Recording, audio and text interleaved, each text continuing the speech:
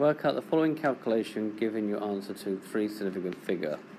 So what we've got here is 3.45 times 7.89 divided by 8.934 minus 5.78.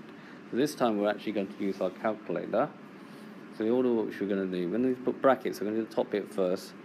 Brackets 3.45 times 7.89 and then we're going to close the bracket off and then we're going to divide and then we're going to put the bottom bit because we're dividing by all of this by with brackets. So we're going to put in 8.934 minus 5.78 close off the bracket.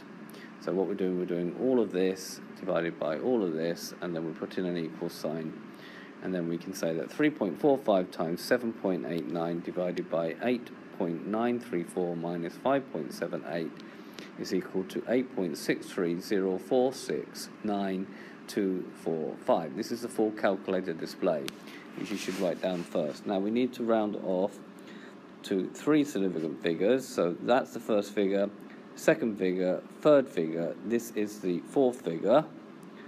And because that's a zero, it has no effect on the three, and therefore we say the final answer will be 8.632 three significant figures.